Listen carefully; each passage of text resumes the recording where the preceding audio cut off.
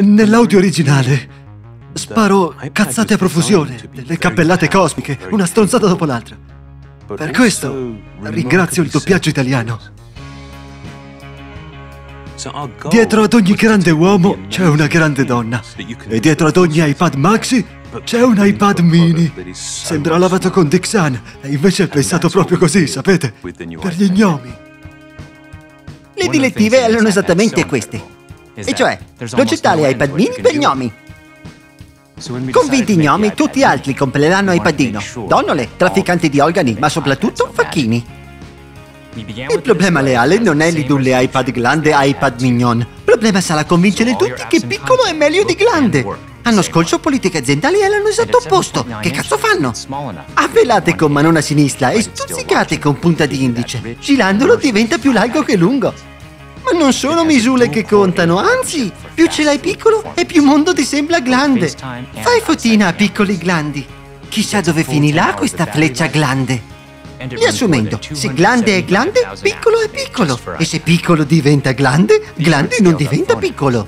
Ma iPadino è glande capolavoro glande diventato piccolo. E piccolo glande? Eh? Beh, piccolo glande va in bianco. Ma come iPadino? Sì, vabbè, qui ci sono un po' troppi piccoli glandi che vanno in bianco per i miei gusti. Non erano mica meglio gli iPad neri, duri e grossi dell'altra volta? Taci! Questo è mio figlio! L'abbiamo preso per le spot non perché l'ho comandato, ma perché perfetto per le spot. Quanti cazzo di L ci hai messo? Come sei bello, sei tutto tuo padre. Grazie. Eh, risettina spontanea.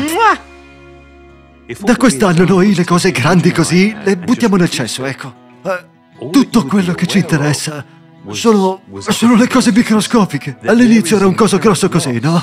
Eh, un pezzetto alla volta l'abbiamo accorciato. È il nuovo che copre il vecchio, sapete? Il risultato non è un iPad grande rimpicciolito, ma come diceva il cinese, un iPad mini grande. Ancora questo Eh, gra... Hai rotto i marroni, Eh, dai. lasciami parlare della bambina. Ma dai, che dopo ti arrestano. La bambina ride perché è dentro un iPad mini. Se era dentro un iPad Maxi non rideva più. Così, se vuoi far felice tua figlia, comprale un iPadino e non fare il braccino. Chic, swish e check. Più sono piccoli i terminali e più risparmiamo alluminio.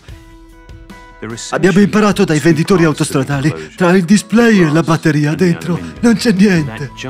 Però si accende lo stesso e questa cosa davvero non l'ho mai capita. Un anno sì e due no, alterniamo profili arrotondati e squadrati, mentre il vetro sopra rimane sempre trasparente. Credo ci sia un motivo anche per questo, ma non ho il manuale sotto mano. Abbiamo anche colorato le cover, pensate un po', e visto che sono più piccole, costeranno almeno il doppio. Ma che vi frega? L'iPad mini costa di meno di quel ferro vecchio del Maxi. Con quello che risparmiate potete comprarvi anche un gratta e vinci. Il grande cambiamento rispetto all'anno passato è che prima abitavo a Palermo. Ci ho messo un pochino per ambientarmi. La Sicilia è un paese con montagne bellissime e mare pulito. Guardare la mia terra così miniaturizzata, onestamente, mi fa un po' incazzare.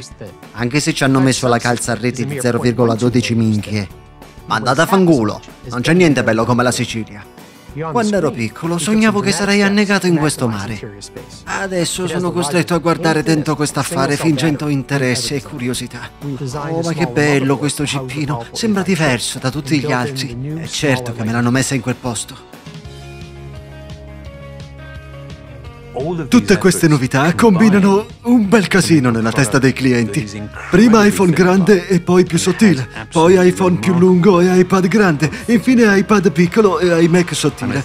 Alla fine il risultato sono soldi a palate nelle casse dell'Apple, mentre il mio stipendio resta sempre lo stesso. A volte mi chiedo, ma chi è lo scemo?